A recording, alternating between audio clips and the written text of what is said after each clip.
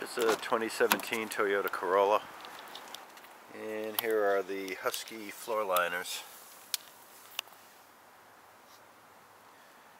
We're in the middle of winter. They're obviously pretty dirty. But they fit really well. In fact, at first glance, you can hardly even tell that they're floor liners. You get a little bit of a curling over in there, but not bad at all.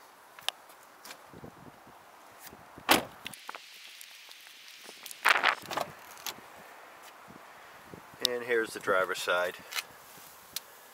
Very similar but different.